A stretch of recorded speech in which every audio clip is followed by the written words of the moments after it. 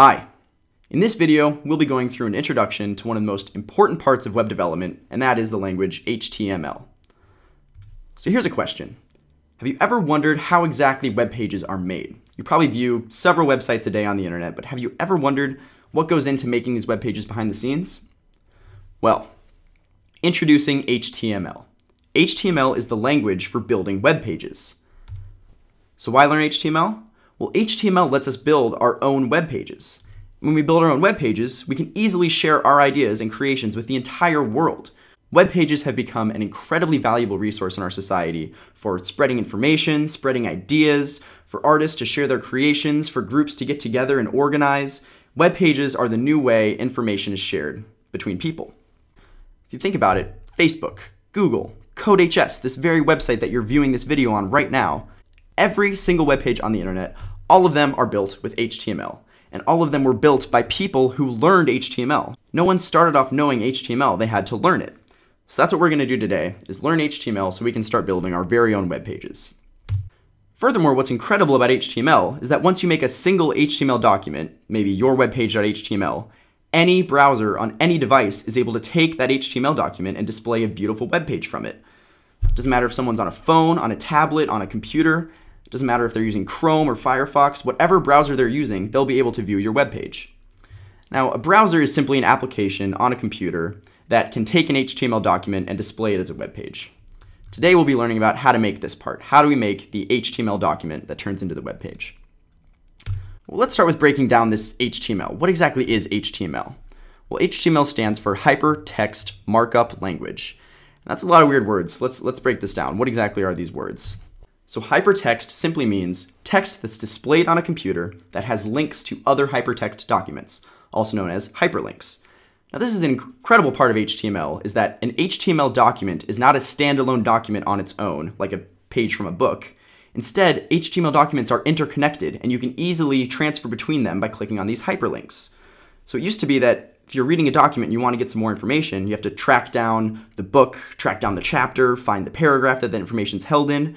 But now with HTML, you can just link straight to that information. So for example, if I click this hyperlink here, this will actually take me straight to the page, the Wikipedia page for hyperlinks, and I can learn more about this. I didn't have to track down this page to learn more. I had a link that took me right there. So that's what hypertext refers to. Now, what about markup language? Well, markup language simply means a language that lets you annotate normal text to define how it should be displayed. Markup language marks up standard text to provide some further information. So how exactly does HTML mark up the text of a web page? Well, introducing HTML tags. HTML tags mark up the text of a document in order to tell the browser how that text should be displayed. So HTML is made up of several tags that can decorate or mark up the standard text of a document in order to tell the browser how that text should be displayed. So at the core of it, HTML is really just normal text plus these markup tags. So what do HTML tags look like? Well, they're enclosed in angle brackets. You can see there, that's an example of an HTML tag. They are not actually displayed on the resulting web page. They're only found in the HTML document, not on the final web page.